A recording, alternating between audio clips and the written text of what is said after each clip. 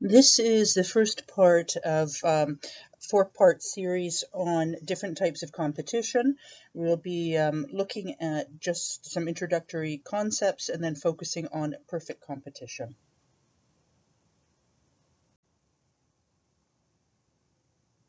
Normal profit. It's important to know this definition well. It's the level of profit sufficient to keep a firm in its present use when we look at it graphically, it's going to look as if there's zero profit, but there's a certain amount of profit built into the cost curve or the supply curve for opportunity costs. So in a nutshell, a normal profit is sufficient profit to keep the, biz, the, the firm in um, operation. When drawing revenue and cost curves for industry, it's really important to remember the following. The shape of the average cost curve, that MC crosses AC at the minimum. And very important to remember that firms will produce where MC equals MR to maximize profit or minimize losses. So as a reminder to focus on MC equaling MR, you may hear me refer to M&Ms, the candies, for the MC to equal MR. Revenue is simply how much money has been gained. It's price times quantity. Profit is different though. Profit is that we look at the money in or the revenue and we subtract the costs. Accounting profit, uh, we don't really deal with in economics, but just to so you realize what the difference is, it's the total revenue minus accounting cost. These are the explicit costs or money that you actually had to pay out of pocket for different things like wages, rent, utilities, raw materials, and so on. So it's the payments made to a firm to outsiders in order to acquire resources for use in production. Economic profit, as many of the asterisks, it's the total revenue minus economic costs, and it's the economic costs that we deal with in economics. That's the total opportunity cost incurred by a firm for use of resources, whether purchased or self owned. So this will be the explicit costs that you had to pay out of pocket and the implicit costs of using resources that you own that you could have sold or rented out to other people. Supernormal profit, you'll hear um, being referred to, also known as abnormal profit. That's going to be the profit that's over and above normal profits. And you'll see all of um, the supernormal profits and, and normal profits and so on once we get into um, the curves looking at the different types of comp competition. So we did say early on in this unit that the main goal for firms is to maximize profit.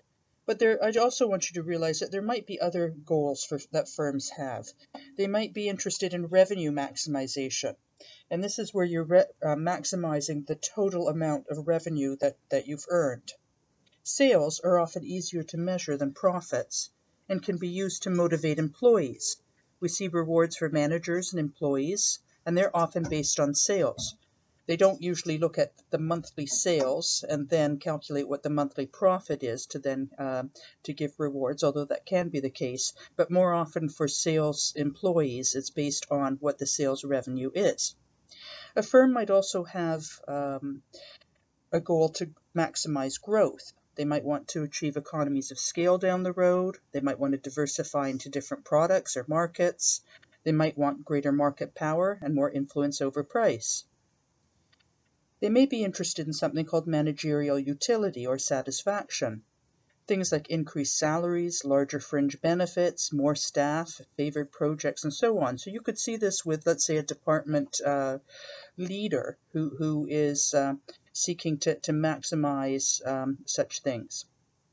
We might see something called satisficing firm behavior, which is a multiplicity of objectives from many separate groups within the firm, so there might be many different objectives that aren't necessarily the same.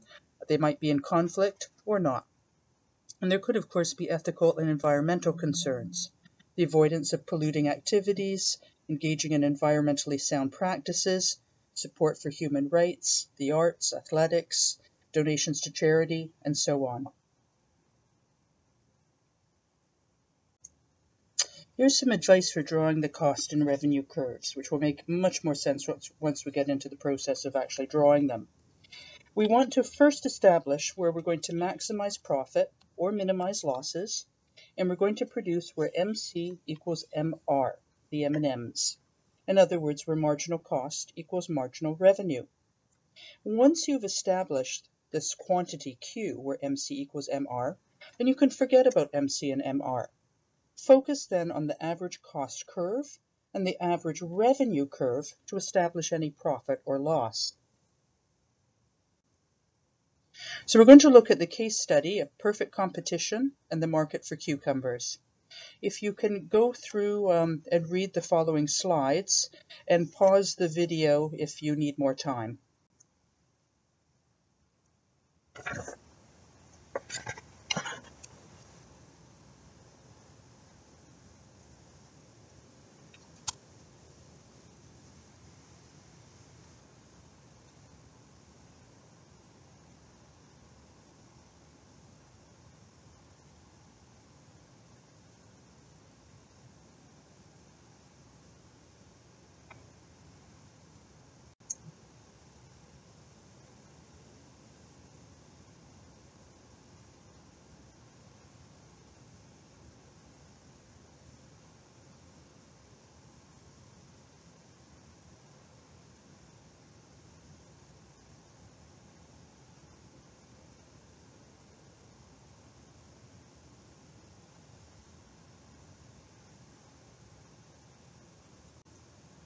So let's look at some of the characteristics of perfect competition. The number of sellers. The number of sellers is very high. Let's look at something called barriers to entry, to entry and exit. So in other words, is it very difficult to get into this market? Do you have to sink a lot of money up front to get into the market? Once you've established yourself, can you easily exit from the market? And the answer to this is that the barriers are very low. It's a very easy market to get into. Are you a price maker or a price taker? You're definitely a price taker. It's very di difficult to establish a price that's other than what the market price is um, and product differentiation.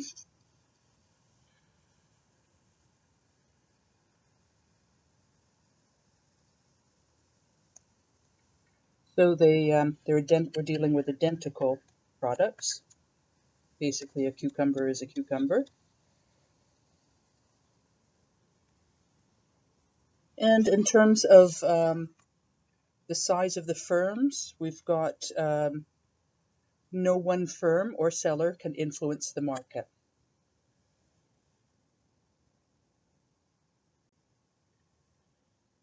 So perfect competition occurs when market forces dictate the price and output levels of each firm. So the structure, we'll just go over this quickly. We've gone over a lot of this uh, already. The number of firms are large or even infinite, you could say. And so each firm's output is um, very small in relation to the size of the market. The firms, because there's so many of them, they cannot collude and get together and fix either quantity or price, and the firms act independently of each other. As we discussed, no one buyer or seller can influence the market, and we have free entry and exit, so the barriers to entry are very low. And this is also important to realize. There's perfect knowledge among all firms and consumers. So if one firm is doing particularly well and having um, higher um, revenue than, than others. Uh, everyone will know.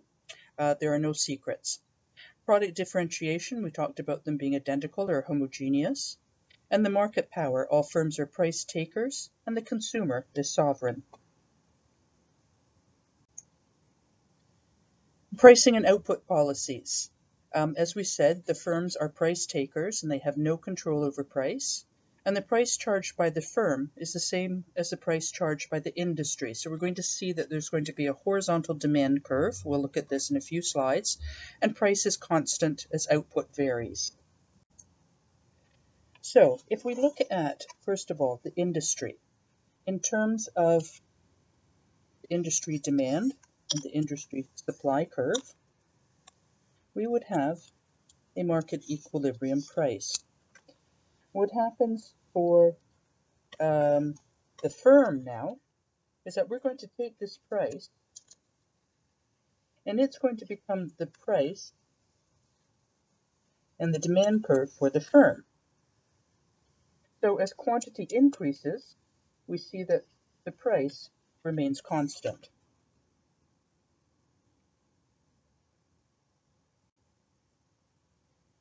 So the price elasticity of the firm in perfect competition we say is perfectly elastic. So just a reminder, if you forgot the little trick to remember if it's perfectly elastic or inelastic, if I added an extra bar up here, that looks like an E, and hence um, elastic.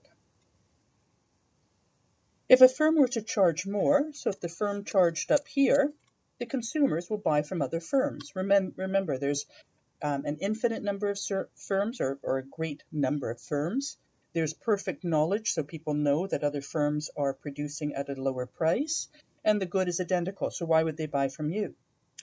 You wouldn't charge less, because with an elastic demand curve, and remember, you're small relative to the whole market, so the elastic demand curve also means that you can sell as much as you like at the market price. So um, there would be no reason to charge less because you're interested in maximizing profits. Total revenue when uh, price elasticity of demand equals infinity. The curve, um, oh sorry, if the price of the good was $5, we would have, for instance, at an output of 7, our total revenue would be 35. If we had an output of 10, then the to total revenue would be 50, and so on. So it would be a straight line um, total revenue curve originating from the origin. So let's say, hypothetically, if our smartboard markers were um, a product in perfect competition. Of course they aren't. Um, they're not all identical and, and there's not an infinite number of firms, but for an ease of, of demonstration in the classroom, it's easy to pick up a marker and a second marker and a third marker. So we're going to assume that the price per marker is $2 each. So if I asked you, and I don't mean to to uh, insult you, but if I ask you what is the price of the marker, you would tell me $2. And if I asked you what's the average revenue if you sold five markers, well, the average revenue is going to be $2. And what is the revenue for the sixth marker sold? Well, the marginal revenue is $2. So when we look at the horizontal demand curve, which we know is price, which equals the demand curve. This also equals the marginal revenue, which was $2. It also equals the average revenue. Now this is the only type of competition where this is the case, is the perfect competition.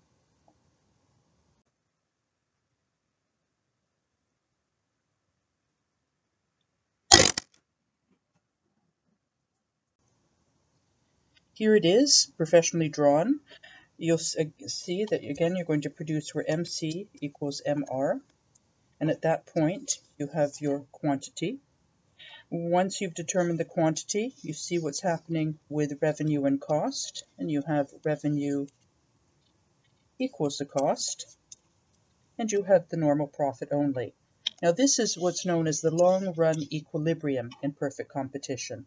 So in other words, in the long run, you can only have normal profits in perfect competition. The break-even price. That's the price that's equal to the minimum of the average total cost, and it's called the break-even price.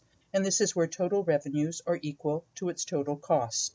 And that's also the same place that you see the firm operating in the long-run equilibrium in perfect competition perfect competition in the long run now. Um, so in the short run, the number of firms in an industry cannot change because each firm has at least one fixed resource, which it cannot vary. In the long run, though, all of the firm's resources are variable, so the number of firms in the industry is no longer unchanging.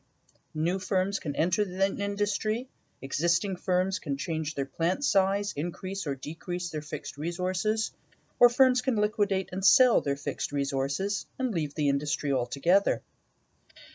There is therefore free entry and exit of firms in the industry. which is one of the characteristics of this market structure.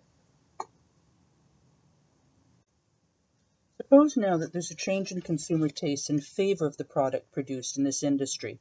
The industry demand curve shifts to the right where the market price increases, which of course becomes the new price that firms in the industry now accept. Firms therefore begin to earn short-run economic profit. So just as a reminder, let's see what's happening with the industry.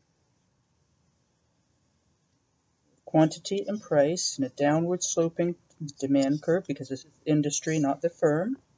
We've got supply, and this would be E1. And if the industry supply curve shifts to the right, we get D2. And price has indeed increased.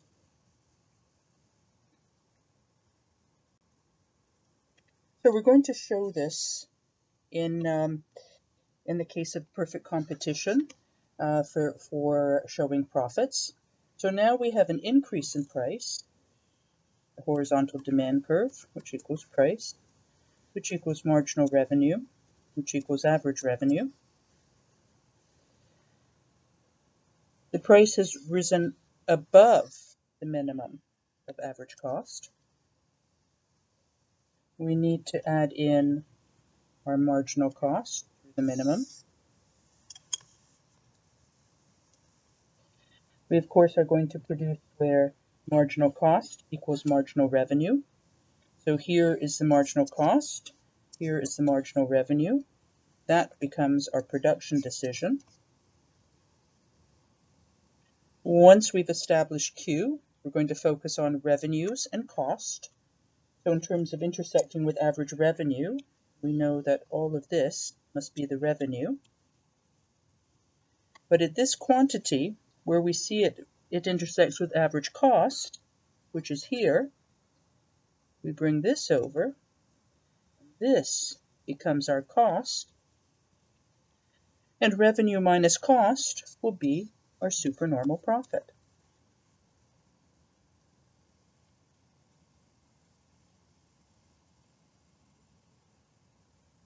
Supernormal, or you might hear the term abnormal profit and this is possible in the short run only, which we'll investigate in just a minute.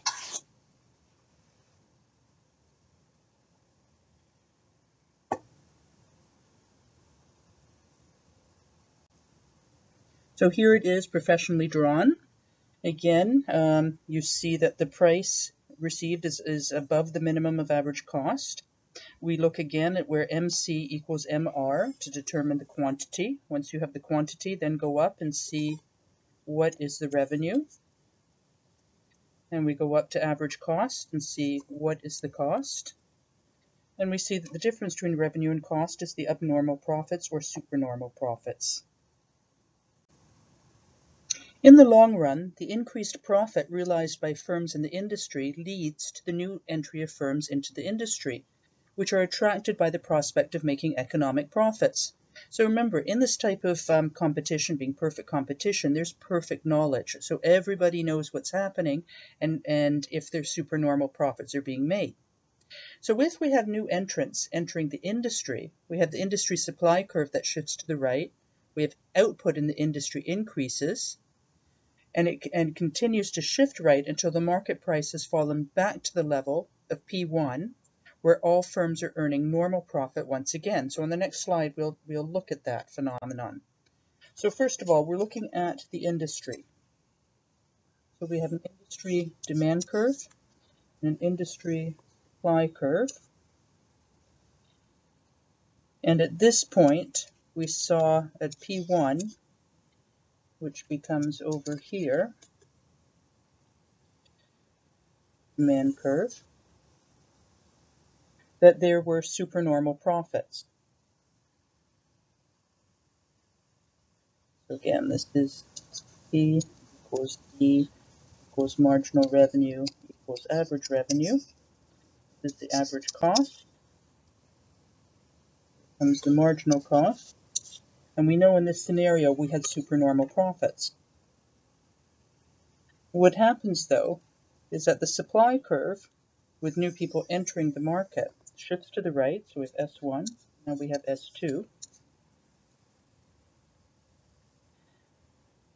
This is and this becomes P2. At this new demand curve, P equals D equals MR equals AR, we return to normal profit only. So the firm that was once earning supernormal profits returns to normal profits only.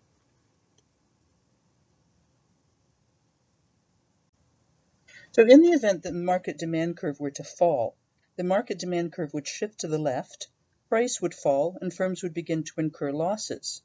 The long-run response will be for firms to leave the industry. The industry supply curve will shift to the left up to the point that price climbs back to its original position, where it's equal to a firm's minimum average total cost, and the industry's output will be reduced. So let's just look at um, the first situation if market demand were to fall.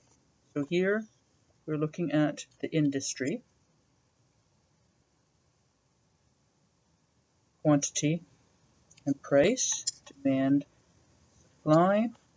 So if the demand curve were to fall, decrease, we would be going from P1 to P2. In terms of how this would look for the firm, and we'll draw this in a few slides um, as well with more detail.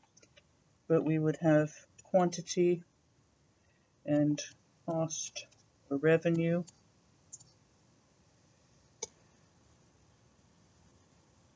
And at the new price, well, we'll show the old, yes, I didn't show the first the original price at P1. We have the firm that's breaking even. Marginal cost and demand equals price equals marginal revenue equals average revenue. So here we have the firm breaking even, but if we have a fall in price to P2, we will at this point produce where M and M, M MC equals MR. So this would be our production decision. This would be our Q. And all of this would be revenue. Whereas all of this would be cost. And that would be our loss. But don't worry, we'll be looking at this in two slides. So just to reiterate, what would then happen with the loss is that the industry supply curve would shift to the left because people would um, enter, excuse me, exit the market with seeing a loss. The price would go back up and the price would go up to the point where there was normal profit only again.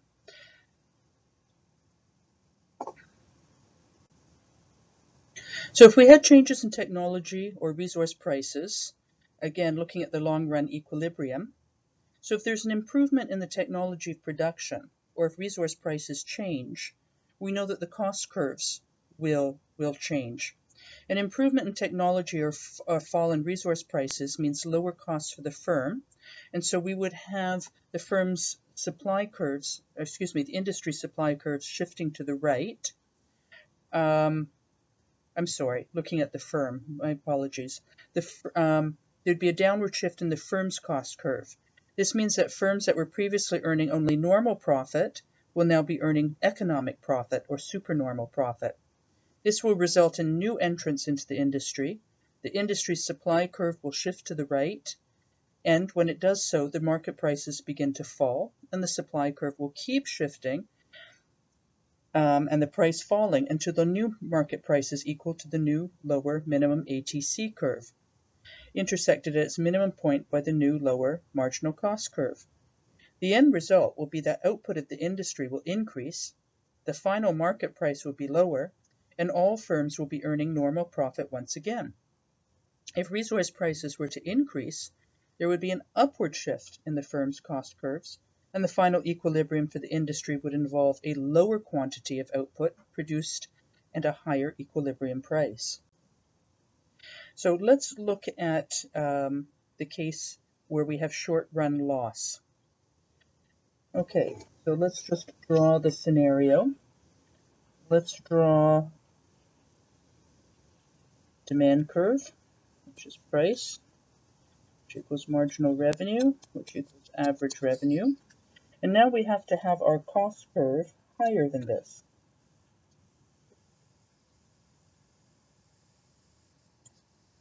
Average cost. Add into here marginal cost. And we know we're going to produce where MC equals MR. So MC equals MR at this point. This becomes our Q decision. Once we know where we're producing at Q, we look at then average revenue and average cost. So we know that all of this will be the revenue box. And if we continue up to average cost and bring it over, we know that all of this will be the cost. And if the cost exceeds the revenue, we know that this will be the loss.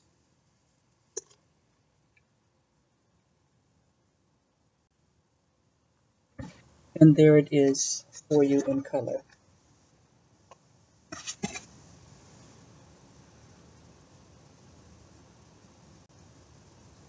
Shutdown position. Okay, we looked at the, when we looked at the margin, excuse me, the marble lemonade stand, we knew that you would shut down if your average variable cost was not being met by your revenues or your average revenue. So in this case, for a shutdown position, where we will throw in the towel, call it a day.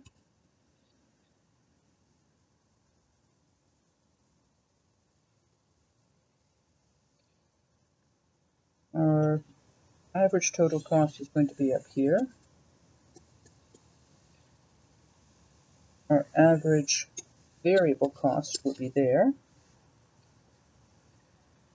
We'll bring marginal cost through the minimum and you're going to shut down because here, since your average variable cost is not being met by your revenues, for every, if we were selling glasses of lemonade, for every glass of lemonade, you would have to go out and buy more sugar, more lemons, more cups, more distilled water, and you'd be going further and further in debt, and there'd be no sense of carrying on.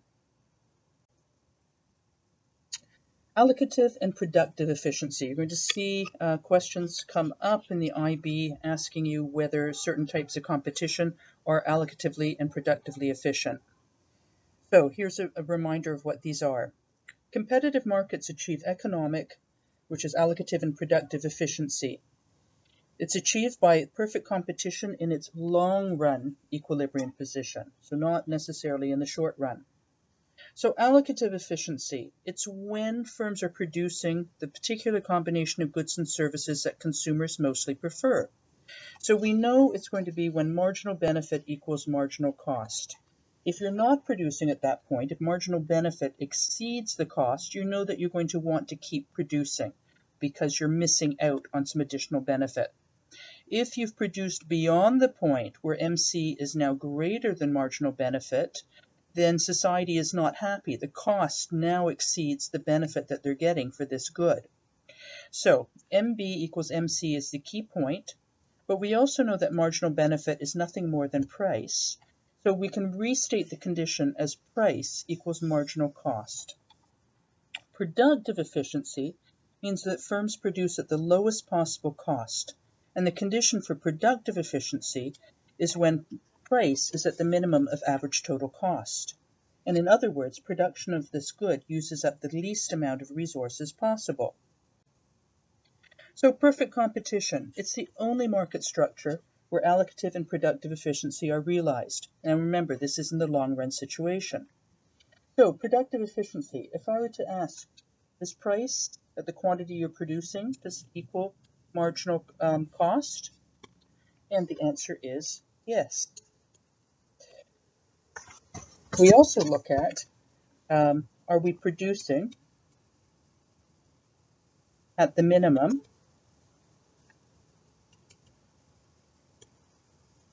of average total cost? And the answer is yes. So we see that it's both productively and allocatively efficient. So evaluating perfect competition. So with allocative efficiency, we know that perfect competition leads to the best or optimal allocation of resources uh, for society based on the mix of goods and services that consumers mostly want. And again, P, sorry about this, P equals MC in the long run equilibrium. Productively efficient. We know it also leads to production at the lowest possible cost, avoiding waste in the use of resources. We're producing at the minimum of ATC. In perfect competition, there's low prices for consumers due to one, the production at the lowest possible co cost, and two, the absence of economic profits, which have led to a higher price. We also know that competition leads to closing down of inefficient producers. the market responds to consumers' tastes. So changes in consumers' tastes are reflected in changes in the market demand and therefore market price. By creating short-run economic profits or losses, price changes results in long-run adjustments that make the quantity of output produced by the industry respond to consumer tastes. Also, the market responds to changes in technology or resource prices. So if there's an improvement in the technology of production or a change in resource prices, the cost curves will shift upwards or downwards, leading to economic profits or losses. Once again, leading to new long-run equilibrium that will accommodate the changes.